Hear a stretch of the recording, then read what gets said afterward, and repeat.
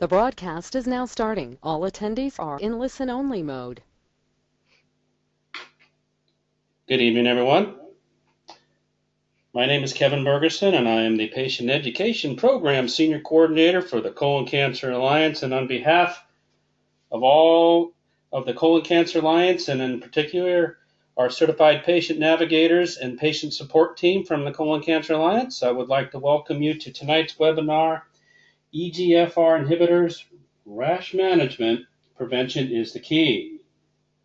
This is the 12th installment of the, of the Conversations About Colon Cancer webinar series. And we here at the Colon Cancer Alliance have created that webinar series to provide attendees with the opportunity to link with national experts in the colorectal field uh, together in an exciting online uh, mechanism that we have called our Conversations webinar series. A little bit about tonight's webinar. If you have metastatic colorectal cancer, you might be eligible for drugs that inhibit the binding of proteins that tell cancer cells how to grow. These inhibitor type drugs are given intravenously based on a patient's height and weight and overall general health. This evening, we will discuss EGFR inhibitors and how to manage any side effects should they occur. Just a real quick note here about questions. This is an interactive webinar, so after our speaker has finished presenting, we may be able to address a few of the questions as posed by you, the attendees, during our webinar. Please note that we will only be accepting questions posed online using the webinar control panel. To submit a question for consideration, please um, look for the small plus sign next to the word questions on the webinar control panel and click on that little plus sign. That little control panel is on the right side of your screens. Then type in question, type your question in, and hit enter. Please accept my apologies in advance if any questions that you ask don't get answers. We're going to do everything we can to answer those. But we want you to remember that our webinar presenters are here to answer uh, your questions, and they're willing to do so with the best of their ability. But please remember, our presenters are here to inform only, and any specific questions regarding your individualized treatment should be discussed with your personal clinician and healthcare teams. And with that, I'm going to introduce our speaker for this evening. Our presenter tonight is Eden Stotsky Himelfarb. Eden is a nurse clinician in the Department of Surgery at Johns Hopkins Hospital. She is also a 14 year survivor of stage 3 rectal cancer. That's the kind of stuff I like to hear. Eden is a graduate of Johns Hopkins University with a Bachelor of Science in Nursing. She's worked for six and a half years as a health educator for Johns Hopkins Colon Cancer Center before becoming a registered nurse. She is currently part of the gastrointestinal surgical oncology group at Johns Hopkins, where she works with patients who have a variety of gastrointestinal cancers, including colorectal cancer. Ms. Uh, Ms. Stotsky Himelfarb assisted in bringing the Prevent Cancer Foundation's Dialogue for Action to Maryland in 2005 and was an integral part of the development and implementation of the Baltimore City Colorectal Cancer Screening Demonstration Program.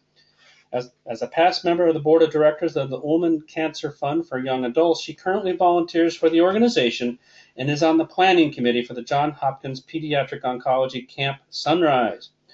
One of her most favorite projects is the One Bite at a Time cookbook created for cancer patients and their patients and friends and families.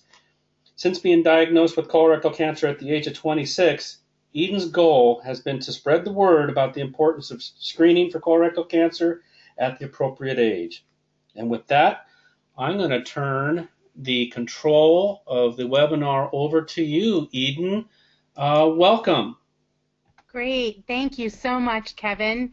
Thank you for asking me to do the webinar tonight, and hello to everyone who is listening. It's my pleasure to be here tonight, and I just like would like to thank the Colon Cancer Alliance and their entire staff for all that they do for patients with colorectal cancer. I can speak firsthand to the fact when I was diagnosed in 1997 that the Colon Cancer Alliance was the first place that I went, and they um, they held my hand through through my experience, and I'm forever forever grateful to them and in debt to them. So thank you again. So yes, I am here tonight to talk to you about EGFR inhibitors, and there are two of them that we know um, that we that we think about the most, and that is Erbitux and Vectibix. And Erbitux is also known as cetuximab, and Vectibix is also known as panitumumab. Um, and so I, I know that each and every one of you on this call know whether or not you're taking one of these drugs.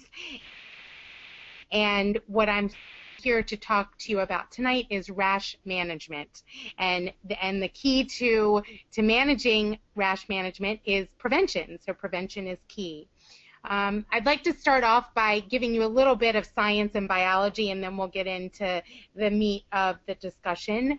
Uh, EGFR is located on tumor cells and many skin cells, and when the growth factors bind to the receptors, they tell the cell to divide and grow.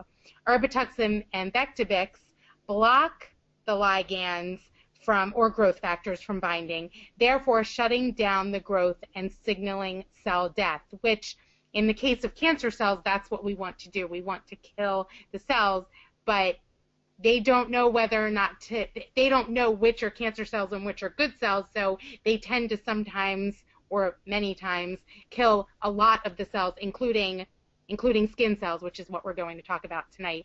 And this is a diagram that shows you just how uh, Vectibix and, Herb- and Erbitux work against the the um, receptors, and you can see how they start and they and they work through the KRAS and the BRAF and the MEK, excuse me, and the ERK, and w- at, at, which point they get to uh, the nuclear sig- signaling. Excuse me.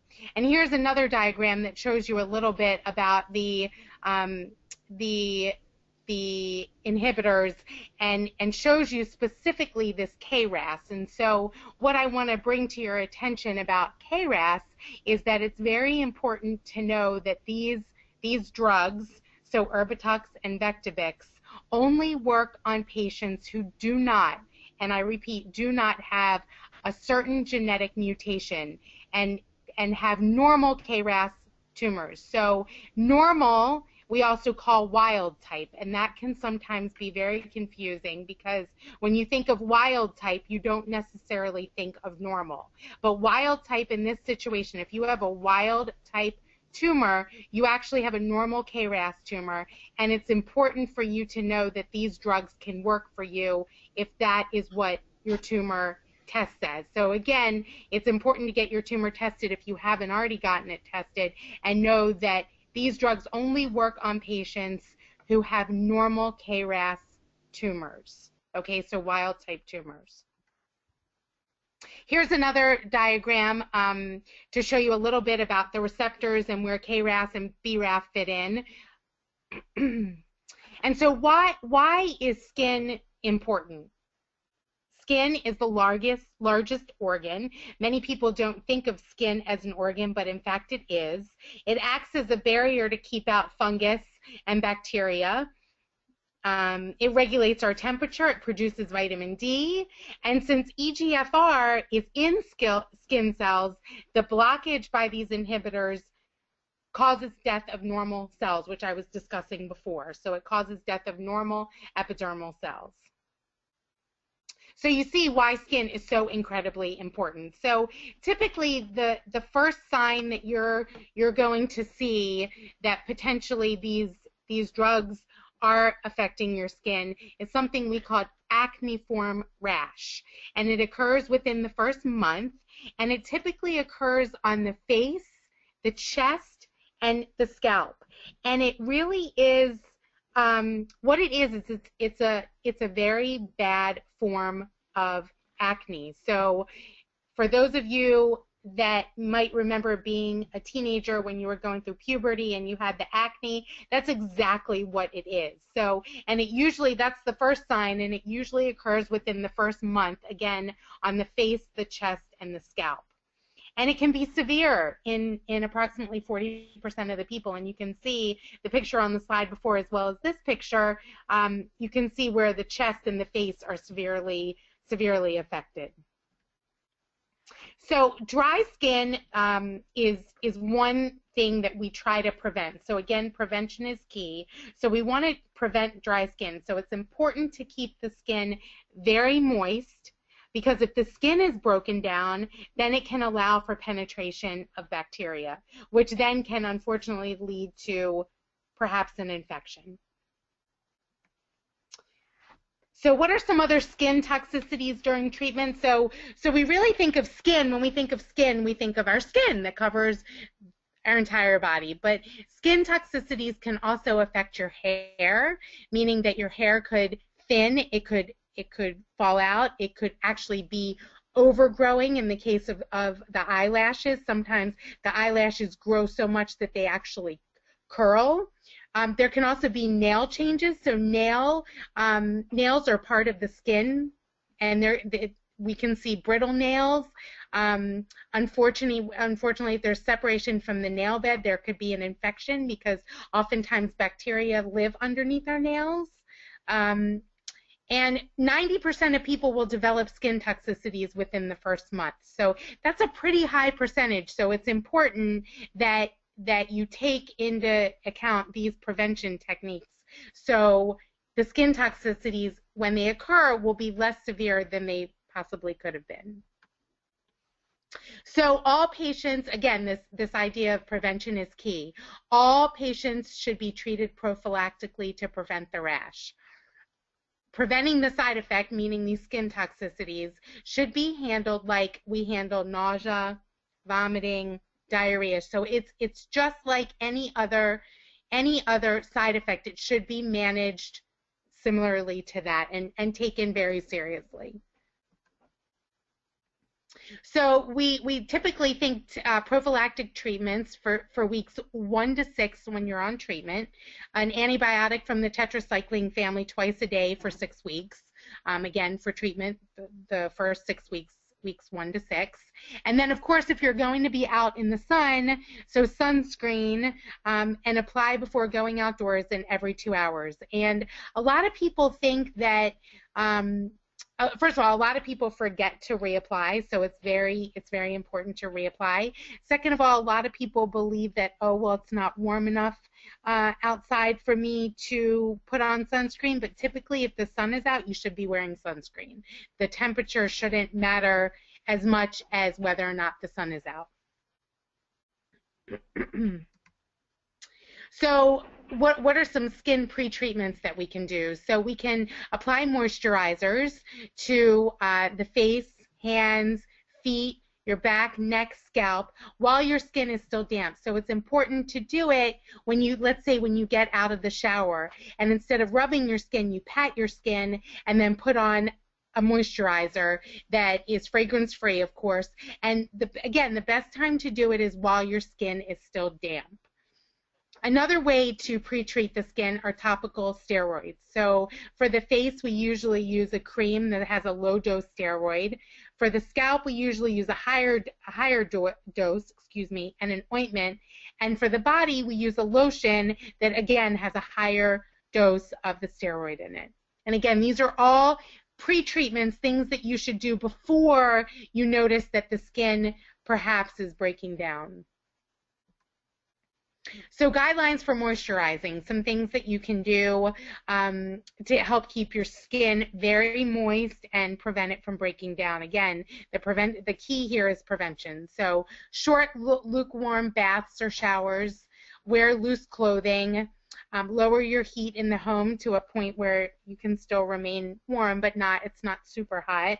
Pat your skin, don't rub it, like I was mentioning. Pat it, don't rub it and use fragrance-free soap and laundry detergent. So it's very important that you use fragrance-free even dishwash when you're washing the dishes. So that soap, hand soap, body soap, any kind of soap that you use in your house, if you, you can use fragrance-free, that's the best way to go. And laundry detergent. So the free and clear laundry detergents is the best thing best thing to use.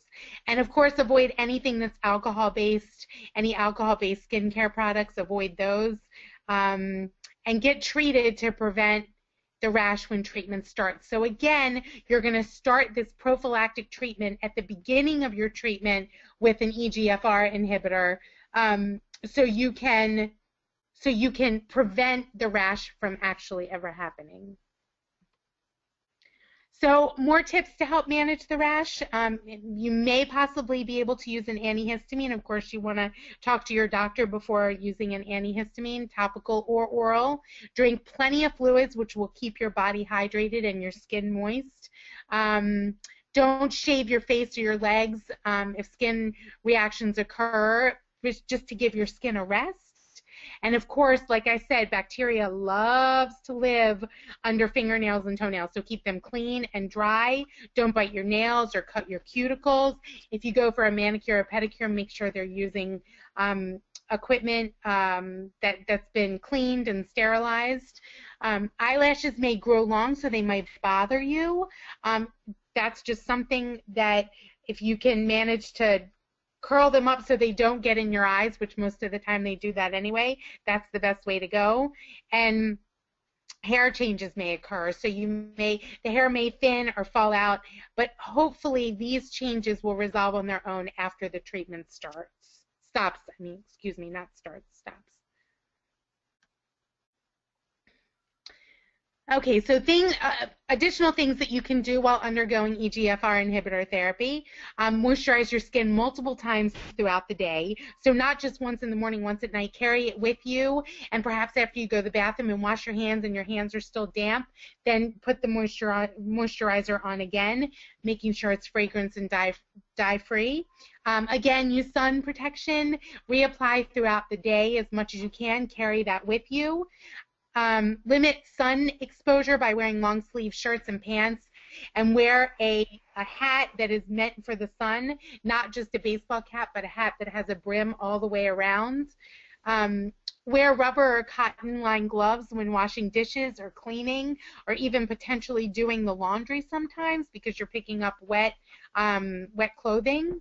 And of course, use mild soaps when washing the skin, but make sure that they are fragrance free and dye free. Um, what I always tell my patients is to kind of have a, um, a bag that you take with you, and I, I, like to call it sort of your your treatment kit, so to speak. And you can have in there um, sun sunscreen, lotion for your hands, um, perhaps a hat if you're not if you may not need to wear it all day long, um, even the rubber cotton lined gloves because just depending on where you may find yourself, it's always good to to carry those things. And also um, the the socks for the feet too, the socks that um, that are are sort of the therapeutic socks that that will allow a moisturizer to be moisturized into your into your feet.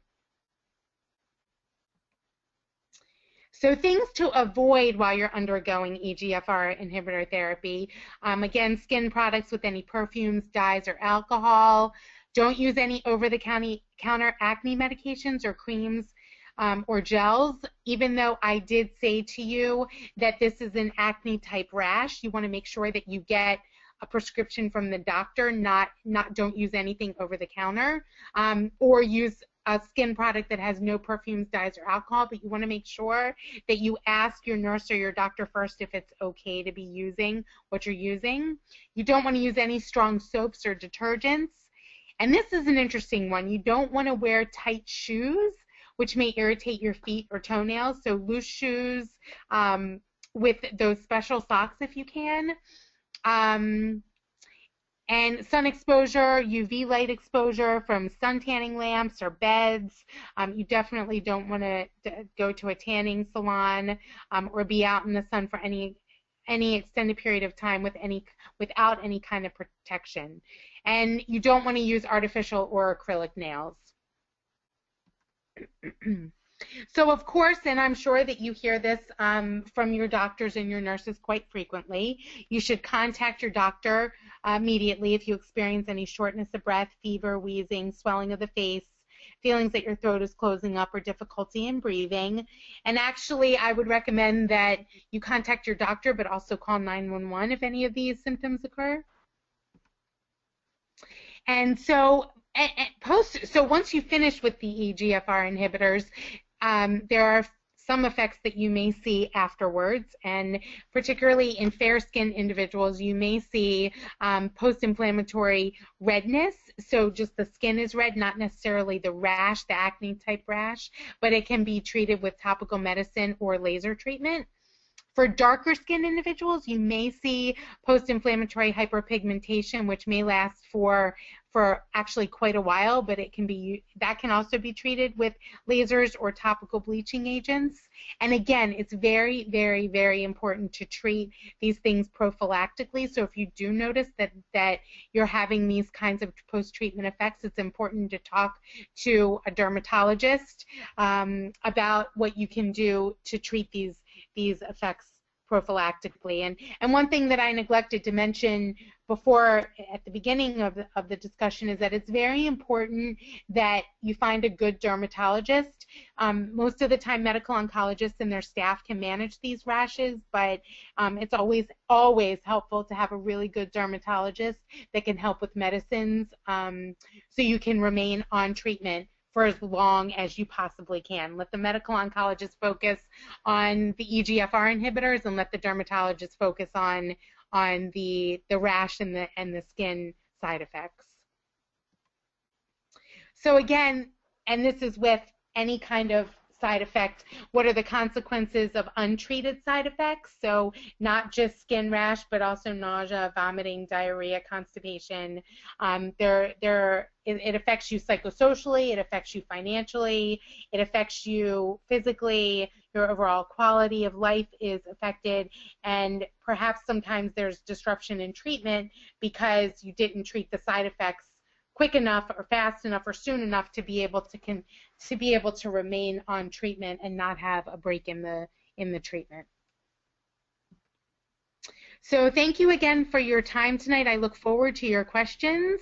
My email address is here if anyone would like to contact me directly. Again, I do work at Hopkins um, with the GI oncology groups in surgery and medical oncology, and um, I would be happy to answer any questions that you have. And again, also, I, I have no problem being contacted directly after the webinar is over. So thank you again.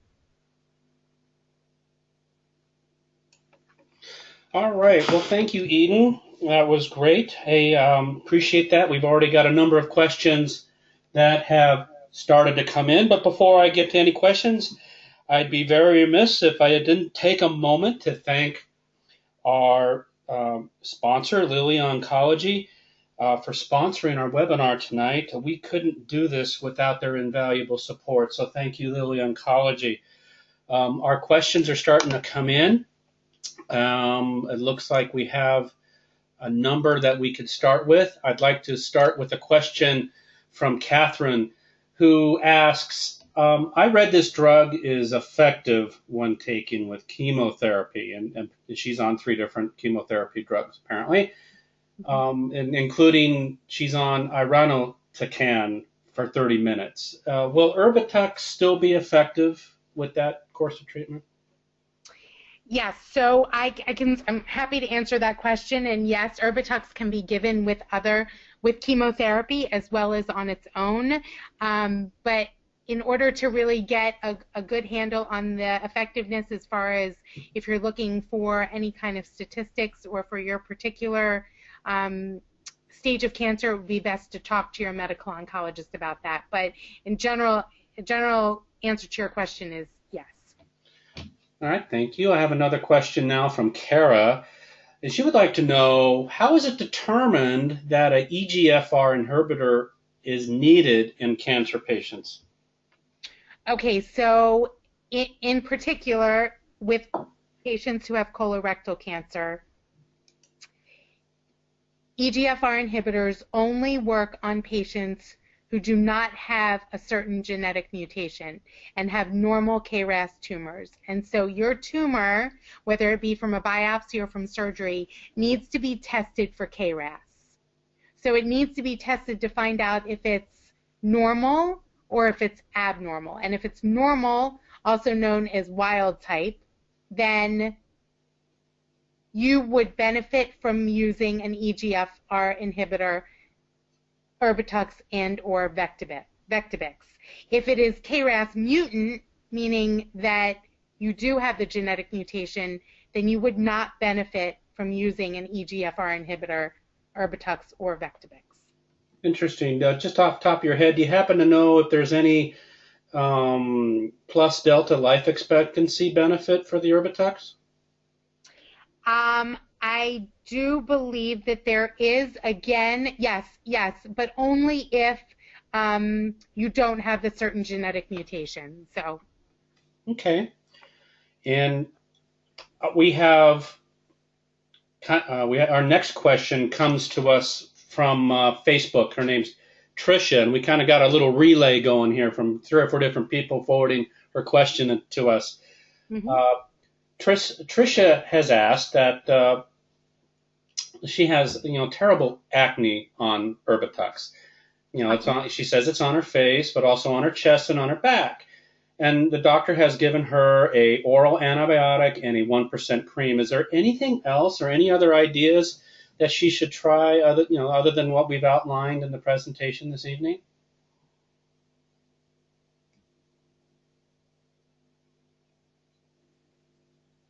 Mm-hmm.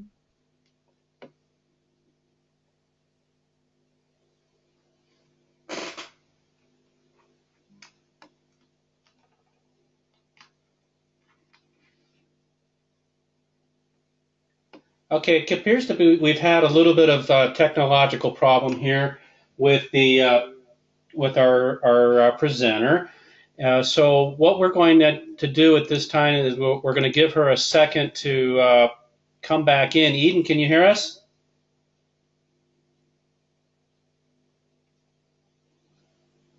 So unfortunately, it sounds like we've had a little bit of a, a technological issue, challenge with our. Present- There's Eden. Hello, can you hear me now? Yeah, we're back. Sorry. All right. Okay. So I'm sorry, did you say that she's on an oral antibiotic and a 1% cream? Yes, and she wanted to know if there's anything else she could do. So I think following some of the tips that we outlined here would be there, those are obviously a lot of things that if she followed those on a daily basis, perhaps maybe the cream could be, the percentage cream could be increased and or an oral antibiotic could be changed. So those would be things that I would talk to. Does she have a good dermatologist? So, so I would recommend a good dermatologist to discuss those issues with. Okay. And I have a question now from Adam. Uh, Adam has uh, several questions here in a row. He says uh, Erbitux is great and, and, shrunk his tumor in half and reduced his CEA in uh, dermatic faction. That's good stuff there, Adam. I've heard studies, he says, that correlate the severity of the rash with the effectiveness of Erbitux. Um, he mentions that there's minocycline versus uh, doxycycline, uh, topical antibiotic versus moisture lotion. Um, he's also read some studies that are looking at the link between chocolate and acne. He's wondering if the Erbitux also affects acne uh, like rash, if, if something else is going on there.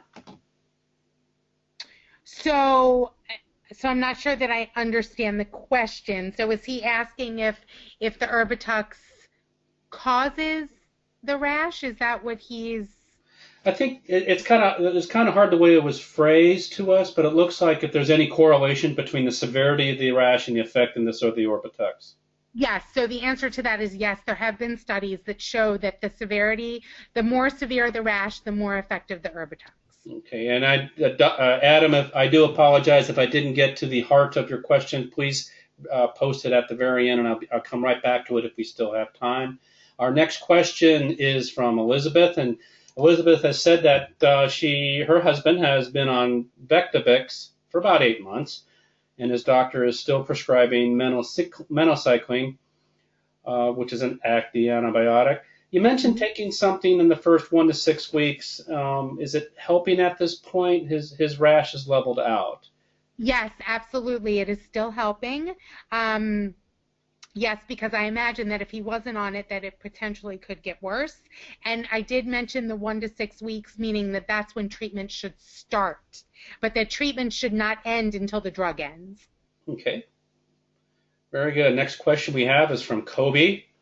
Uh, you know, prior to taking Vectibix for the first time, uh, was taking uh, doc, uh, doxycycline drastically reduces rash symptoms. Is there any uh, uh, anything we could do differently for his uh, rash symptoms that uh, a resultant of doxycycline?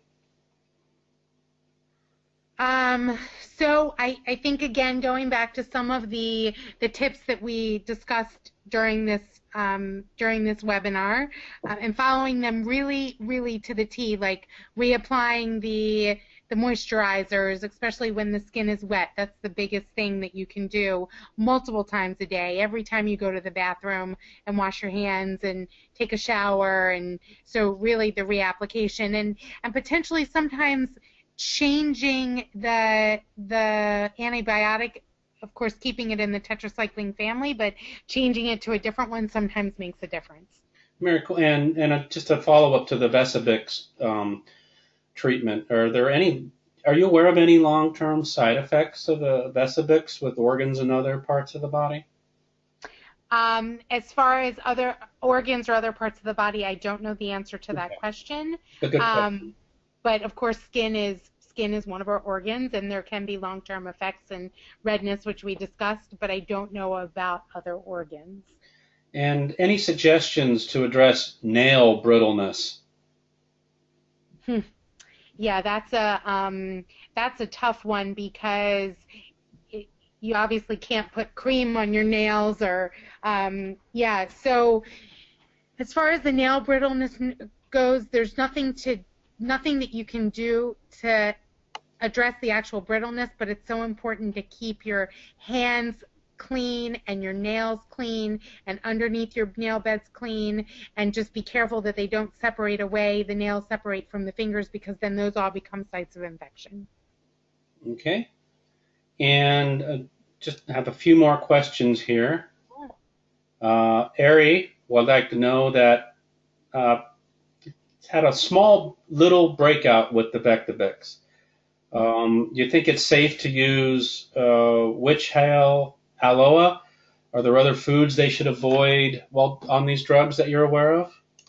um, i don't know of any foods that they should um, avoid while on an egfr inhibitor now I, i'm thinking that she might be asking about witch hazel and I'm not sure if that's what she's asking about, but I would definitely, before doing, before using any alternative type of treatment, it's important to discuss it with your medical oncologist. Yeah, yes, it was the witch hazel. Yes. And, so just um, important to discuss that with with your medical oncologist. Okay.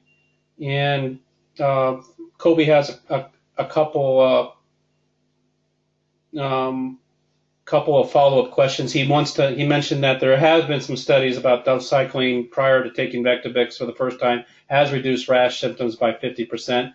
But he was wondering about any long-term side effects of taking the doxycycline, um, doxycycline.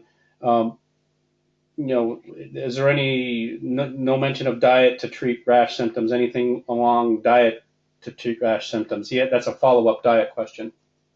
Sure. So no, nothing that that I'm aware of as far as um, diet to treat rash symptoms, and as far as long-term effects from the cycling drugs, um, because it is an antibiotic. Um, of course, there can be GI distress. There can be C. diff, um, which is a bacterial infection in the intestine if you take antibiotics for too long. So those are those are two um, long-term side effects that that I know of, but they shouldn't last beyond the treatment. Um, as far as any other side effects, I would talk either to your medical oncologist or it's always it's always a possibility to talk to a pharmacist about that as well. Okay, thank you. That was that was very informative. Uh, got one last question here from Kobe. Uh, um, excuse me, from Ari, uh, who has multiple mouth sores from Mhm. taking the Vectibix. Any suggestions on t- how to prevent the little mouth sores? Yeah, so those mouth sores are, I'm sorry, they're so painful. Um, um, so there is a mouthwash that you can use um, that is prescription strength, and so I would recommend asking your medical oncologist for the mouthwash. Um, and of course, um, you know, eating eating foods that irritate the sores. I'm sure it's not something that you're doing because it's probably very painful to eat. Um, I would just stay away from anything that, that, that makes it feel worse, any foods that make it feel worse, which I would imagine you're already doing. But the biggest thing would be to get the mouthwash and to ask your medical oncologist for that. All right, we're just we're just about done here. Uh, Kobe would like to share that he he's found some success with mouth sores using baking soda and warm water. Um, yes, that is a that is a good remedy as well. Yep. And uh, do we have any um, ideas for maybe a good sh- uh, scalp shampoo? Uh, Adam is wondering, you know, if there's anything that might be alleviating some of those types of things. He he says Aquaphor works good, but is there anything else for a moisture? Yeah, Aquaphor is actually the best, and so I'm so happy to hear that he's already using that. Perfect. Um, anything that is fragrance free, dye free, um, anything you know it's good to to look perhaps in like a Whole Foods or a or a Trader Joe's or or a health food store for any kind of shampoo that doesn't have any fragrances, any dyes. They're really hard to find, and so um, but that would be best and that would be helpful um, for for the scalp. Which again, the Aquaphor is the best, being that it's an ointment. So. Alrighty. Well, um, we've we're kind of uh, we've handled all the questions that we have out there, and we have just a few more minutes. So, but but I I wanted to thank everyone for your questions. Um, and not hearing any more questions, uh, I just want to remind everybody that uh, um, I'd very much like to thank um, Eden on behalf of the Colon Cancer Alliance for being our presenter this evening. And, sure. You know, and again, mention Lilly for their sponsorship. We couldn't do this without you guys. It, it, we sure do appreciate. We we value your expertise and time. It's greatly appreciated. Any parting comments, Eden? No, just thank again. Thank you to well, yes, thank you to CCA for doing these webinars. They're so very important to get information out to um, patients and their family members. And again, I'm happy to be a resource. So don't hesitate to contact me directly at my email address. Very good, very good. And uh, what was your email address one more time? Sure, it's Eden, my first name, E D E N, at jhmi.edu. Perfect. Um, the slide you're looking at now, uh, folks, is just a reminder that about this time tomorrow, you all get a follow up email, automated email from me. Uh, with a link to our feedback survey about this particular webinar. We take the input that we get from those surveys very seriously, um, we're always valuing your opinion and we're looking to hear your honest feedback on how we can make these better. Um, we're very interested in hearing your ideas about future topics as well. A bunch of our topics for 2016 are coming directly from the webinar survey, so I please encourage you to get, um, when you see that email, to click on that survey and give us your feedback, and I want to thank you in advance for doing so. Um, I'd like to put a little plug in here for our uh, patient navigators on our helpline. If you have any follow up questions about this topic or on this presentation or other colorectal cancer uh, topics, please feel free to call our patient navigators on our colon cancer helpline at 877 422 2030. Um, we're almost done. But before we go, don't forget to join us at our next month's webinar, November 18th, for understanding sedation options for your colonoscopy. That's going to be at 7 p.m. Eastern Standard Time. Uh, registrations will be opening soon on our website. Um, look for that soon, and we'll also be promoting that on our Blue Hope Nation Facebook page. And lastly, uh, just uh, we're putting our national conference on. It's coming out next week. We're heading west to the beautiful Southwest Sonoran Desert in Phoenix, Arizona. Well, we hope to see you there. It's our national conference. It happens once a year and it's going to be our Live, Life, Live Your Best Life conference, October 30, 31. Register now at coloncancerconference.org. I'd like, at this time, I'd like to once again thank everyone for attending. We surely hope you enjoyed this webinar, and we hope that you found it informative and useful. Um, if you'd like to share your comments with me regarding the webinar, answer the survey, or you can always uh, always find me by email at kbergerson at ccalliance.org. So, on behalf of the Colon Cancer Alliance, our incredible sponsor, Lilly Oncology, and our fantastic presenter, Eden, I would like to once thank thank you all once again for attending this webinar. I hope you found it informative, informative, of value added, and I want everybody to have a good evening. Take care, and thanks for attending.